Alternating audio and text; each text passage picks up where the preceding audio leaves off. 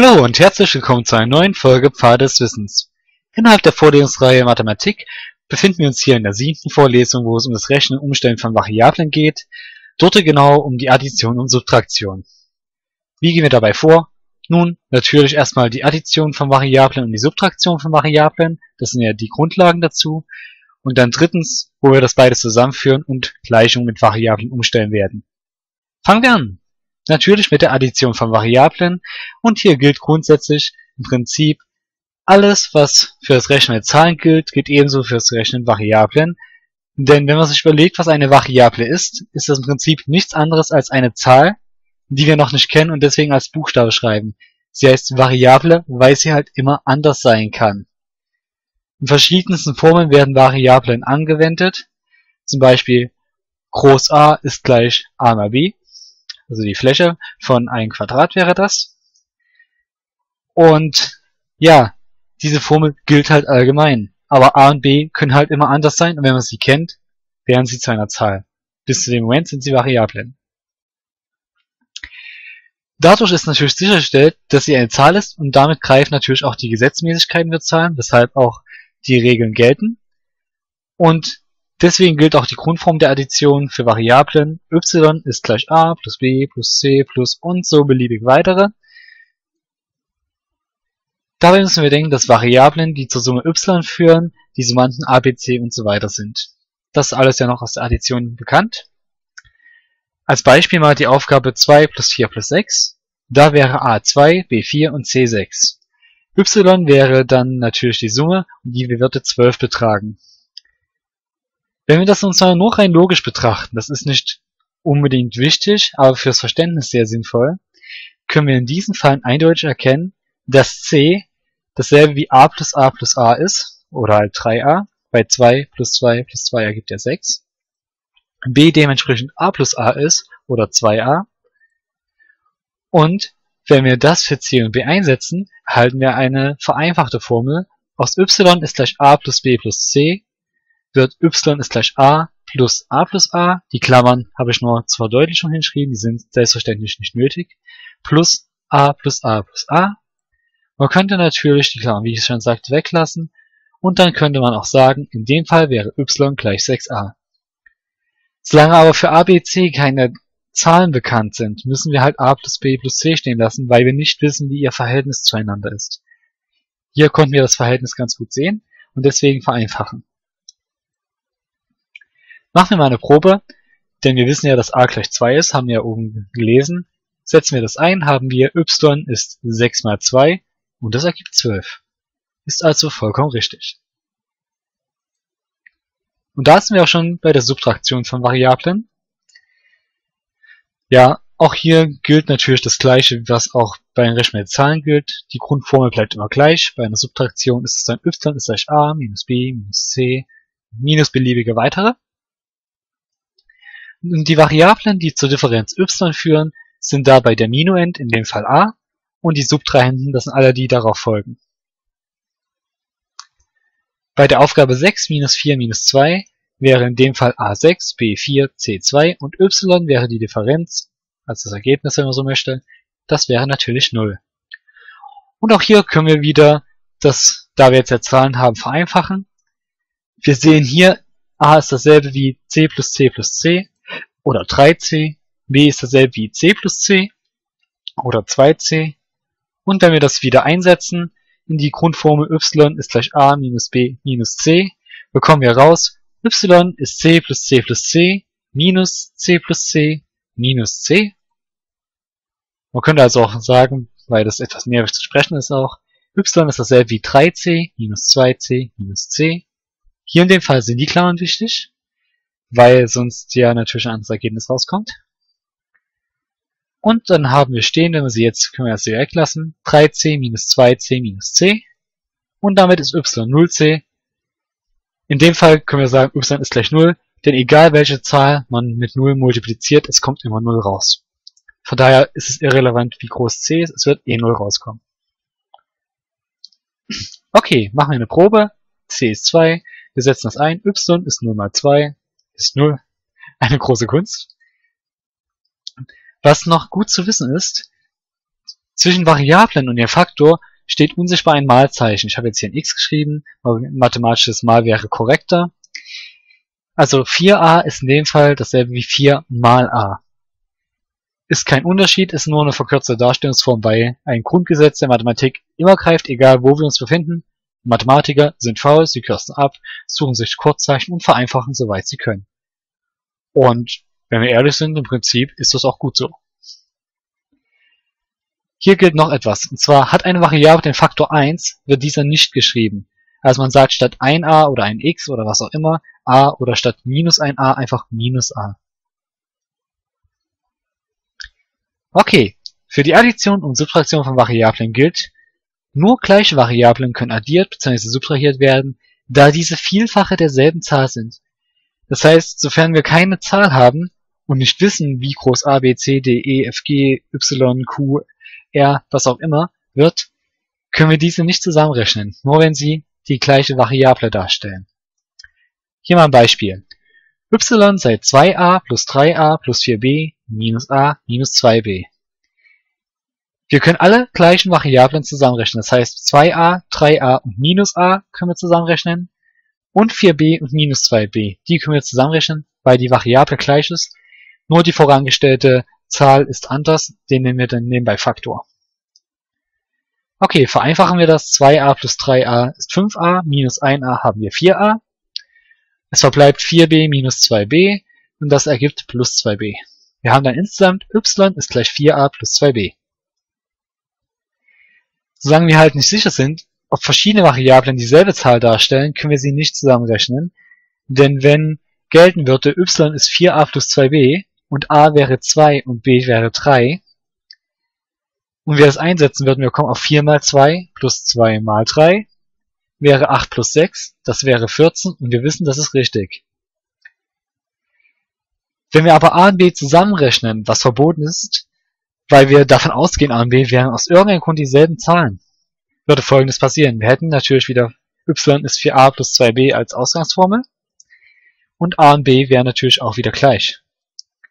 Jetzt behaupten wir, wir könnten sie zusammenrechnen, das heißt a wäre gleich b, dann hätten wir 6a oder 6b, je nachdem was wir nehmen.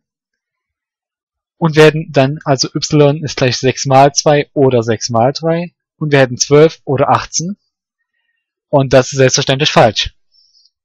Deswegen verboten, solange man kann zwar Variablen zusammenrechnen, wenn sie dieselbe Variable sind, egal welchen Faktor sie haben, aber wir können nicht verschiedene Variablen zusammenrechnen, dann kommen wir auf ein falsches Ergebnis.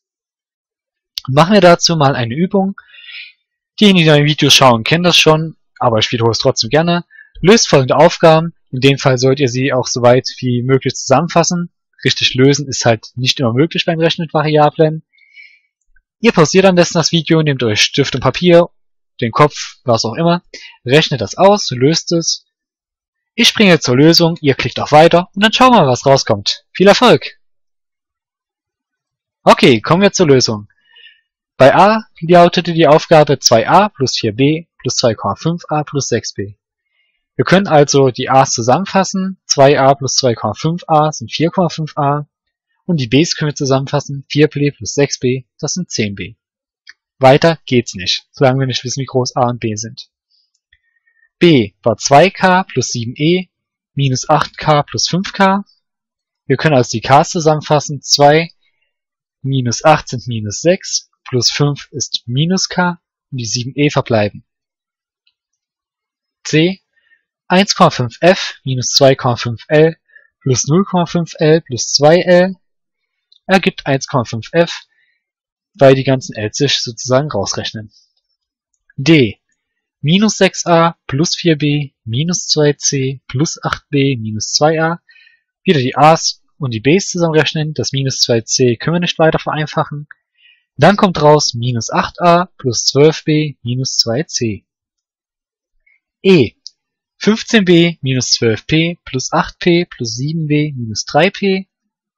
Rechnen wir es zusammen, kommen wir auf 22b minus 7p. f 12u plus 6z plus 14w minus 5z minus 12uw. Aufgepasst, doppelter Buchstabe, das ist eine ganz andere Variable, das ist nicht u, das ist nicht w, das ist uw.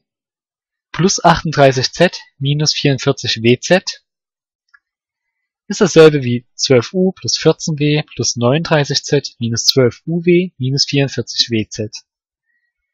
Wir können halt die nicht zusammenfassen, auch wenn dieselben Buchstaben drin sind. Es ist nicht irgendwie die Hälfte oder so, sondern es ist einfach unbekannt. Das ist eine ganz andere Variable. Oder aber das Produkt der Variable w und z. Aber in beiden Fällen hilft uns das nicht weiter. So, damit kommen wir zum Hauptteil, den Umstellen von Gleichungen mit Variablen. Das andere war fast nur Wiederholung, halt nur, dass wir statt nur Zahlen auch Buchstaben hatten. Okay, was ist erstmal eine Gleichung? Das ist immer eine Rechenoperation, wo Operatoren wie ist gleich, kleiner als, größer als, gibt noch mehr, größer gleich, äquivalent und so weiter äh, vorkommen. Und diese Gleichungen können verschiedenste Formen annehmen, wobei jedoch gilt, es gibt immer nur einen Operator. Nehmen wir ein Beispiel. a plus b plus c sei dasselbe wie y minus z mal d, äh, doch mal d, stimmt schon. Das Umstellen einer Gleichung bedeutet, dass man mittels Rechenoperationen die Variablen oder halt auch Konstanten, eine Variable ist halt eine unbekannte Zahl, eine Konstante ist eine, die man gleich festsetzt, ist wie die Lichtgeschwindigkeit, die 300.000 Kilometer pro Sekunde hat, von einer Seite auf die andere Seite des Operators bringt. Das ist halt immer dann nötig, wenn man eine Gleichung vereinfachen will oder nach einer Unbekannten umstellen möchte. Das werden wir aber gleich sehen. Wie geht man dabei vor? Also, um eine Gleichung umzustellen, ist es halt nötig, auf beiden Seiten des Operationszeichens eine Operation auszuführen, welche die gewünschte Variable auf der gewünschten Seite verschwinden lässt. Klingt erstmal kompliziert, ihr seht, das ist gar nicht so schwer. Dargestellt wird diese Operation mittels eines senkrechten Strichs am Ende der Gleichung. Der senkrechte Strich bedeutet, dass man auf beiden Seiten des, des Operators dieselbe Aktion durchführt oder Operation durchführt. Das Ziel dabei ist natürlich, auf einer Seite eine gesuchte Variable zu bringen und auf der anderen Seite alles andere. Auch lassen sich Gleichungen, bei denen sich gleich Variablen auf beiden Seiten befinden, dadurch vereinfachen, indem halt die Variablen und Konstanten zusammengefasst werden können. Machen wir ein Beispiel. Wir suchen a, das heißt wir werden die Gleichung nach a umstellen. Die Gleichung lautet 2a plus 4 ist gleich a minus 2. Das heißt, auf einer Seite möchten wir nur a stehen haben oder a's und auf der anderen Seite alles andere. Wir müssen also umstellen. So, das hatte ich gerade gesagt. Da war ich etwas zu vorschnell. Was machen wir also? Ich entscheide mich, ich möchte auf der linken Seite a stehen haben. Das heißt, das a auf der rechten Seite stört. Im Prinzip steht da ein a. Um das wegzukriegen, muss ich auf der rechten Seite minus a rechnen, weil a minus a 0 ist und damit ist es weg. Aber laut den Gesetzen des Umstands muss ich dann auf der anderen Seite auch minus a rechnen. Deswegen der Senkrechtstrich. Führen wir das an, haben wir 2a plus 4 minus a, das ich hinzugefügt habe, ist dasselbe wie a minus 2 minus a. Rechts löst sich das a auf. Links haben wir dann stehen a plus 4 ist, und dann ist gleich minus 2. Jetzt muss ich noch die 4 rüber bekommen. Da steht plus 4. Das heißt, wenn ich sie von der linken Seite weghaben möchte, muss ich minus 4 rechnen. Das muss ich dann allerdings auch auf der anderen Seite. Wir haben dann also stehen, a plus 4 minus 4 ist dasselbe wie minus 2 minus 4. Links bleibt stehen a, rechts kommen wir auf minus 6 und damit haben wir die Gleichung gelöst. a ist minus 6. Darum machen wir auch eine Probe. Wir setzen für a mal minus 6 ein und schauen, was rauskommt. Das war die Ausgangsgleichung. Ich setze mal minus 6 ein, dann haben wir stehen 2 mal minus 6 plus 4 soll dasselbe sein wie minus 6 minus 2. Das heißt, ja, minus 12 plus 4 ist dasselbe wie minus 8. Minus 8 ist minus 8. Das ist eine wahre Aussage. Die Probe ist erfolgreich.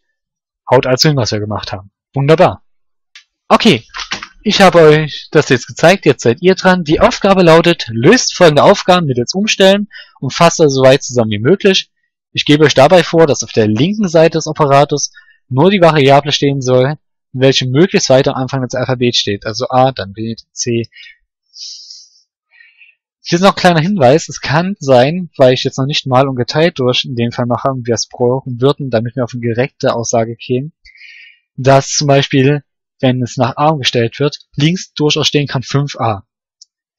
Normalerweise teilt man durch 5, das kommt aber noch später in Vorlesung sortiert sozusagen, Anführungszeichen, erstmal alle nach äh, links oder rechts von Gleichheitszeichen oder Operationszeichen. Ich wünsche euch viel Erfolg, springe schon mal zu den Lösungen. Ihr pausiert am besten und wir schauen mal, wie weit wir kommen. Viel Erfolg! Okay, kommen wir zur Lösung. aber 4a plus 2 sei 3a minus 1. Ich möchte links das a haben, darum muss es rechts weg. Ich rechne auf beiden Seiten minus 3a. Da komme ich auf a plus 2 ist gleich minus 1. Jetzt muss noch die, äh, die 2 weg. Ich rechne also minus 2 auf beiden Seiten. Und es verbleibt a ist gleich minus 3. b. 10b minus 9 ist minus 6 plus 5b. Ich möchte nach b umstellen. Deswegen muss ich minus 5b auf beiden Seiten rechnen, damit es rechts weggeht. Links verbleibt dann 5b minus 9 und rechts ist gleich minus 6. Jetzt muss noch die minus 9 weg, also muss ich auf beiden Seiten plus 9 rechnen und es verbleibt 5b ist gleich 3. Normalerweise müsste man jetzt noch durch 5 teilen, da hätten wir b ist gleich 0,6. Aber wie gesagt, Multiplikation und Division kommt später, wir lassen es erstmal so stehen. c. Minus 8c minus 7 ist gleich minus 5c minus 9. Ich rechne auf beiden Seiten plus 5c, dann bleibt links minus 3c minus 7 ist gleich minus 9. Dann muss noch die minus 7 weg, darum rechne ich plus 7. Es verbleibt minus 3c ist gleich minus 2. d. 2a minus 3d plus 17 ist gleich 14 plus 3d minus 6a. Ich rechne plus 6a, dann verbleibt 8a minus 3d plus 17 ist gleich 14 plus 3d plus 3d. Dann habe ich 8a plus 17 ist gleich 14 plus 6d dann minus 17, damit ich links nur noch das a habe. Dann verbleibt 8a ist gleich minus 3 plus 6d. E. 15b minus 7e minus 18 ist gleich minus 5 minus 7e minus 10b. Ich rechne rechts, äh, ich rechne auf beiden Seiten plus 7e. Es verbleibt 15b minus 18 ist gleich minus 5 minus 10b. Wunderbar, das ist gleich auf beiden Seiten verschwunden. So, jetzt rechne ich noch plus 10b. Ich habe dann 25b minus 18 ist gleich minus 5. Um die minus 18 wegzubekommen, rechne ich noch plus 18. Und es verbleibt 25b ist gleich 13. f. 4a plus 6b minus 8c minus 10d ist dasselbe wie 5c minus 7a minus 9d minus 15b. Ich möchte erstmal auf die linke Seite die a's haben, deswegen muss ich plus 7a rechnen, damit das rechts verschwindet. Ich habe dann 11a plus 6b minus 8c minus 10d ist gleich 5c minus 9d minus 15b. Jetzt bringe ich die ganzen anderen Variablen rüber, fange mit den b's an, also minus 6b. Dann habe ich 11a minus 8c minus 10d ist gleich 5c minus 9d minus 21b. Das c bringe ich jetzt rüber, indem ich plus 8c rechne. Es verbleibt 11a minus 10d ist dasselbe wie 13c minus 9d minus 21b. Und jetzt noch das d, in dem ich plus 10d rechne. Und ich habe stehen 11a ist gleich 13c plus d minus 21b. Ja, damit sind wir am Ende der Vorlesung angekommen. Ich hoffe, es hat euch ein bisschen gefallen. Über eine gute Bewertung, Abonnements, Daumen hoch und so weiter würde ich mich freuen. Wir hören uns später zum nächsten Video. Bis dahin macht's gut oder sogar besser. Tschüss!